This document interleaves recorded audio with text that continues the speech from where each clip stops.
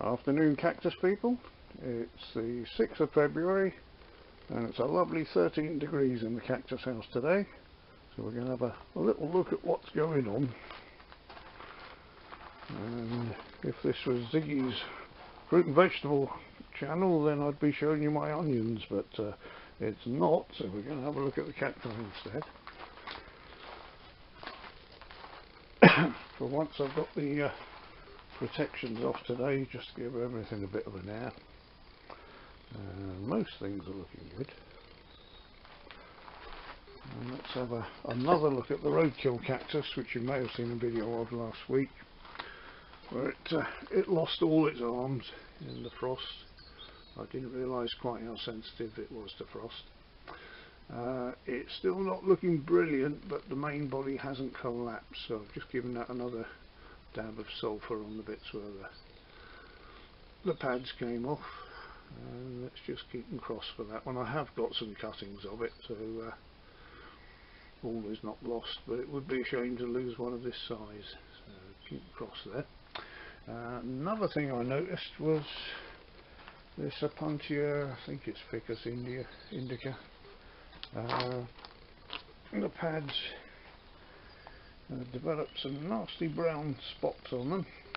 And I noticed uh, a few gashes in it which I think is where the Eve's needle collapsed on it during the frost. It's got some nasty spines on that. Uh, it may have introduced a fungus into the pad so I think I'm going to get this. And uh, the other pad which is not quite so badly infected off and sort of limit the damage on that strangely enough uh, the plant it came from is over here. And this one was out with no protection other than being in the greenhouse and it definitely got below zero. And this one's absolutely fine. There's no um, brown staining at all on it no, no damage. So uh, not sure there. But uh, over here is the main reason I was doing the video today. Let's have a look at the Eve's needle cutting cuttings that suffered some frost damage I'll just switch to the other camera here.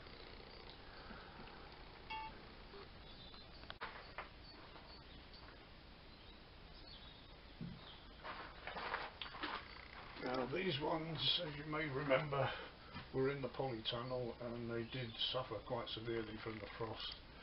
I initially cut the uh, affected bits off but as you can see we've lost four of them they've uh, started to collapse so these will be going out tomorrow on the compost uh, but these two this one was suffering a little bit at the top so yesterday I cut that bit off it looks like it had a bit of frost damage on it and I've put some more sulphur on the top. The rest of the plant's looking healthy, so that might survive. And likewise, this one doesn't seem to have suffered any damage at all. So we've got two left, which is uh, is good. Um, one thing I did notice is that uh, the ones in the ground. Move the camera over here.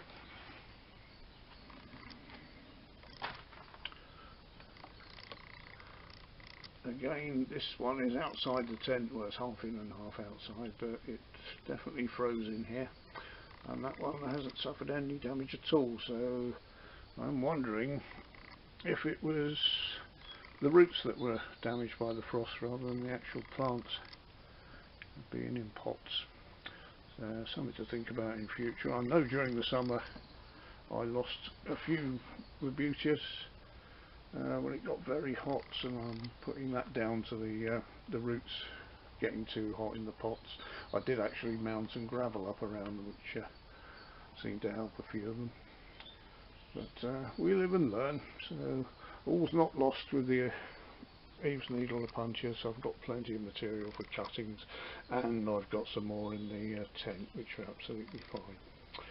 So that's an update for today. Thank you for watching speak you all later.